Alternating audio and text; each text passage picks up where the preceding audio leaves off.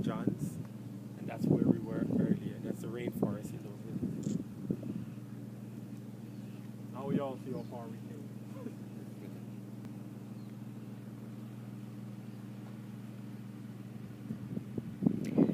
The red top building you seeing in the video is um, a rehab center that was set up by Eric Clapton, who has a residence here in Antigua.